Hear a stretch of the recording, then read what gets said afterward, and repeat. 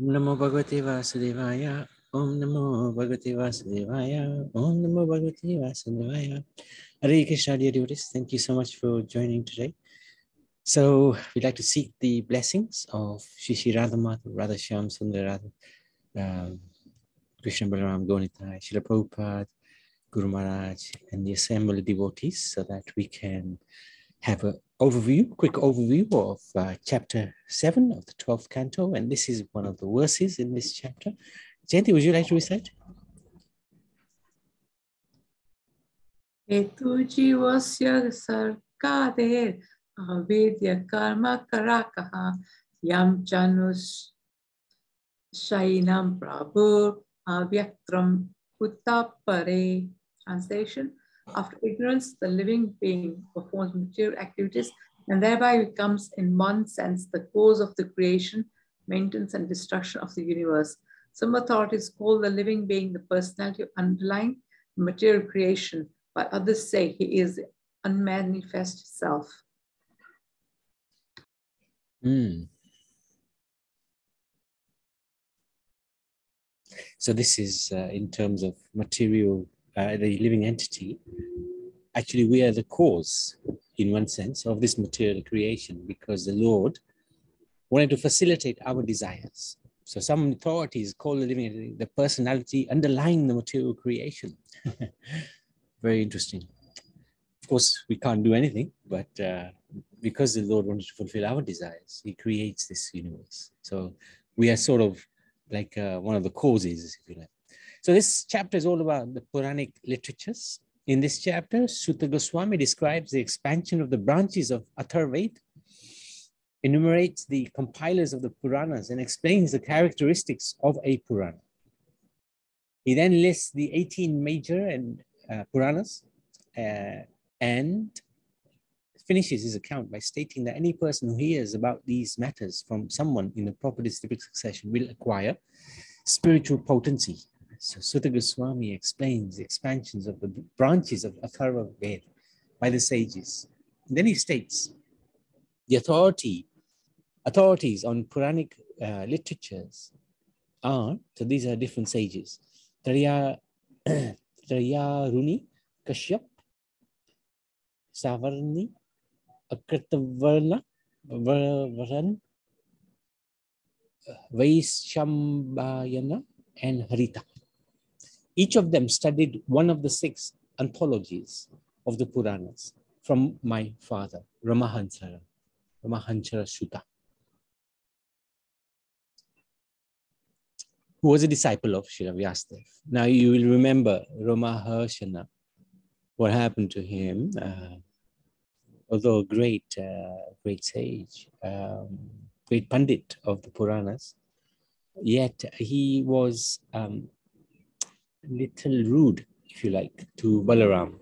When Balaram came onto the arena of the sages at Naimisharanya, he didn't rise from what he was doing. He was giving pravachan, but he did not stand.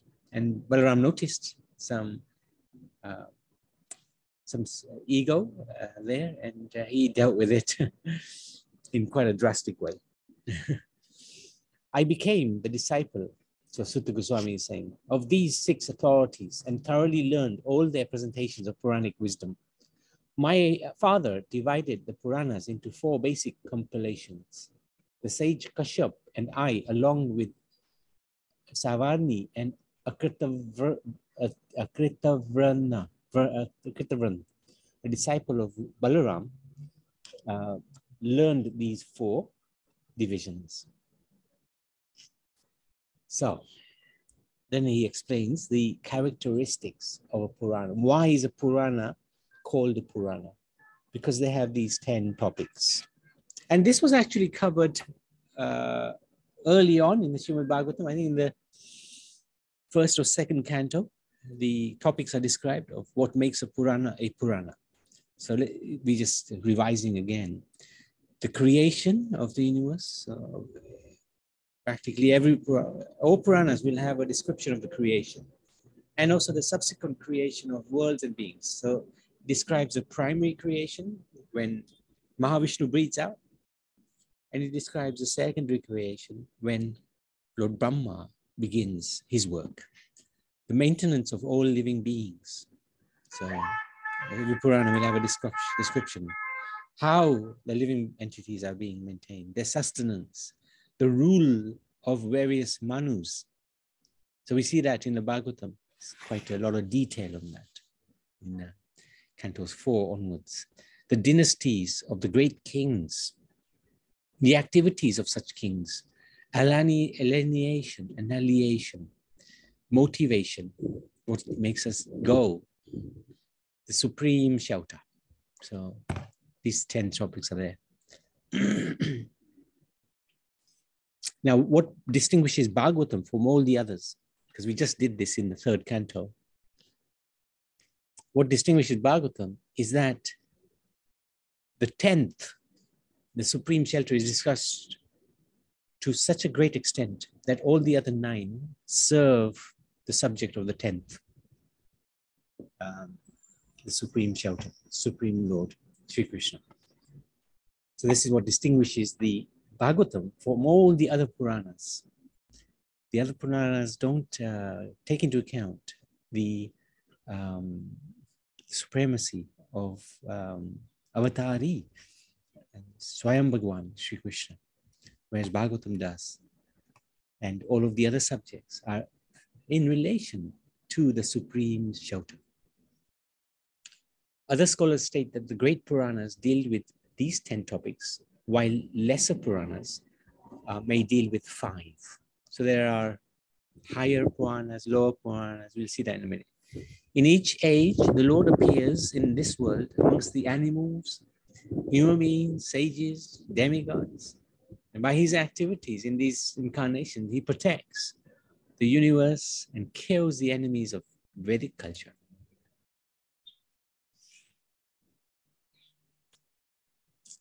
Now he talks about in the reign of each Manu, there are six types of personalities who appear as manifestations of Lord Hari. The ruling Manu, so Vaivasat Manu or Swayambhu Manu, the chief demigods. So these are all manifestations of, so there's Lord Brahma, Lord Shiva, sons of Manus, Indra, the great sages, and the partial incarnations of the Supreme Personality. So these six types of persons will come in the reign of every Manu. And there's, then there's four types of cosmic annihilation, which are affected by the inherent potency of the Supreme Lord. There's the occasional, the elemental, continuous, ultimate. So we did this a couple of uh, chap few chapters back, discussed about the different types of annihilation. There's one at the end of Lord Brahma's day. Uh, there's also one at the end, usually, of uh, a cycle of um, yugas. And then there's the ultimate, uh, the continuous one as well. Uh, uh, at the end of every life of Brahma. And the ultimate is when you go back to the Supreme Lord. Out of ignorance, the living being performs material activities and thereby becomes, in one sense, the cause of the creation, maintenance, and destruction of universe, of the universe. So this is the reason why we perform these activities and to facilitate that uh, desire, the Lord creates His world. Some authorities call the living entity the personality underlying the material creation, while others say he is unmanifest self. so Sages expert in ancient histories have declared that the Puranas, according to their various characters, characteristics, can be divided into 18 major Puranas and 18 secondary Puranas. So then he lists the 18 major Puranas, which is the Brahma Purana, Padma Purana. Padma Purana often we quote different verses from.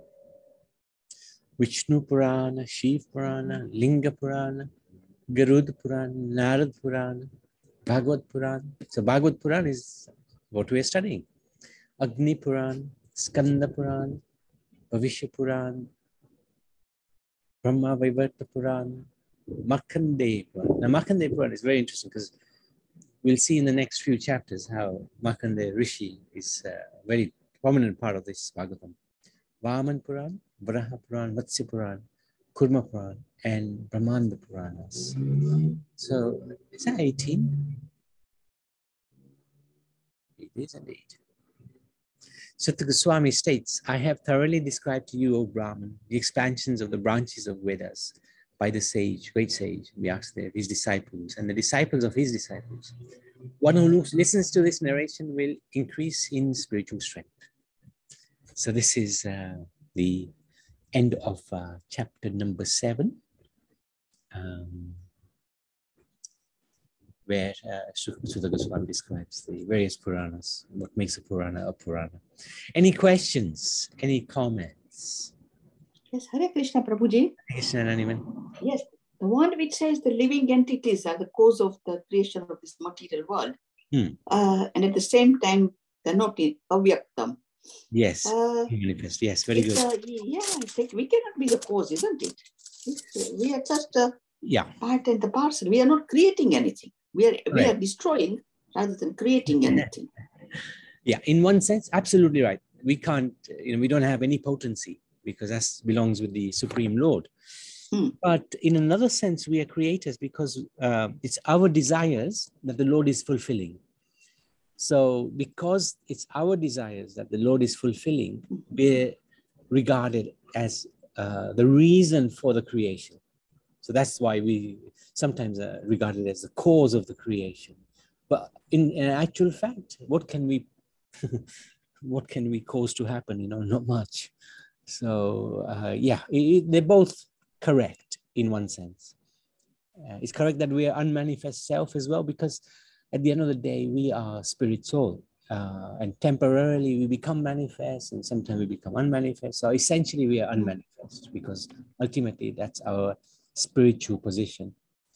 Um, so in that sense it's it sort of sounds contradictory um, but it's just explaining it in explaining the living entity's role in this material world in a different way. And our role is basically not we're not we're not the direct uh, cause of it but because of us it's happened with the indirect cause. Does that make sense Yes, it does. But that it's uh, the whole thing of uh, Bhagavatam is that the Krishna is the creator, maintainer, Yes. and the destructor. And then Right.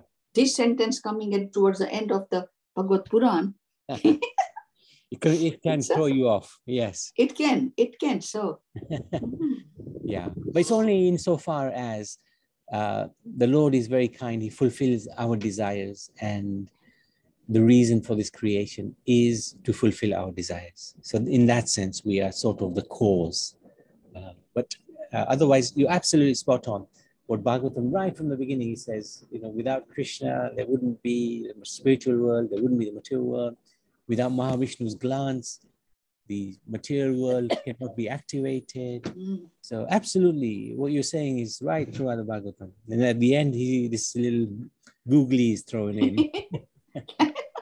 yeah. yeah. Thanks, Prabhuji. No, thank you. Thank you. Uh, Prabhaben? Uh, uh, yes, Jay, Ma- uh, Prabhuji. I'm coughing very badly.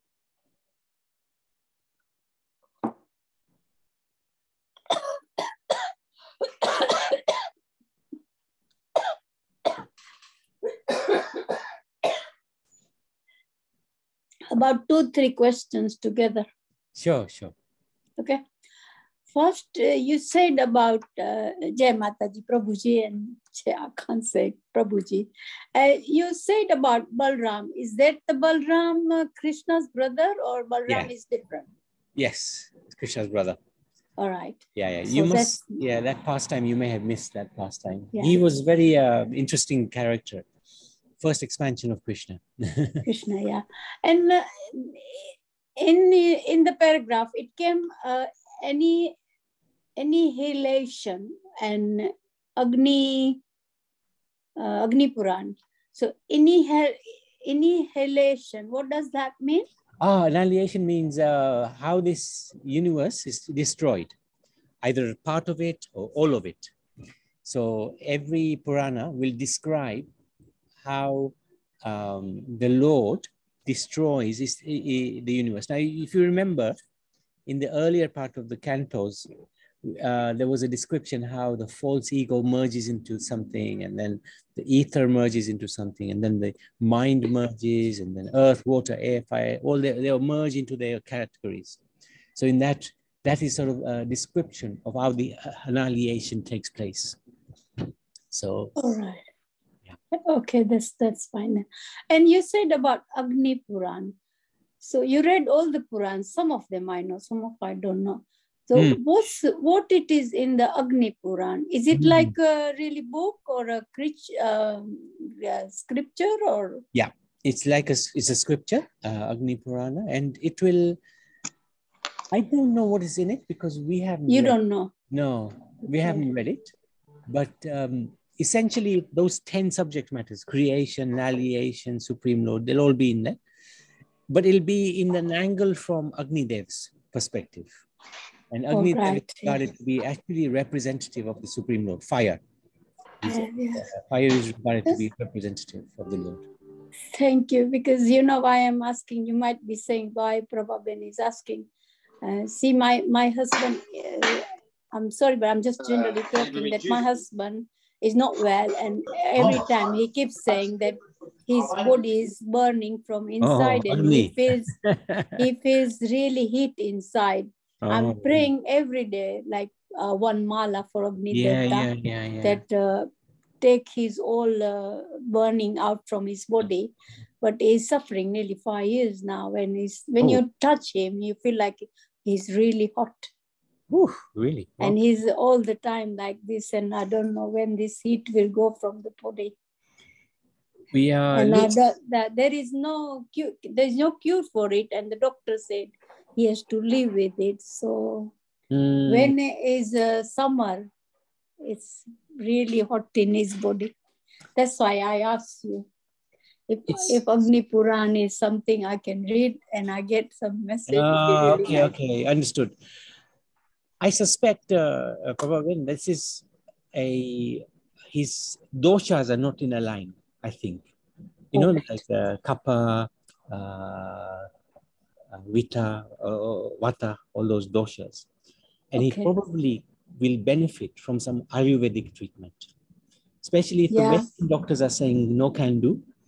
Uh, this sounds like something that is uh, uh, very much which the Ayurvedic science will um, tackle this sort of issue because Ayurveda looks at it from the inside out, you know, from the body, from the inside of the body, and then it um, looks at the doshas, which is out of sync, and tries to bring it back into alignment. So it might be Mm. that. So Ayurveda may be the right uh, place to go to Great. seek some answers.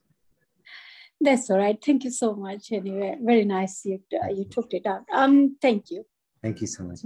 Yeah, and I've got uh, to mention uh, when we do prayers, I've got uh, to tell you that uh, there's a death in the family, so I'd like to pray for Hmm. them. Is my my son's uh, uh, great grand uh, mother-in-law. Oh, okay. My So, mo- yes. my yeah my my daughter-in-law's uh, nanima passed away today, so Oh. we pray for her. Yeah, Yeah, definitely. all So, right. Thank you. Srimad Bhagavatam ki jai. Yes.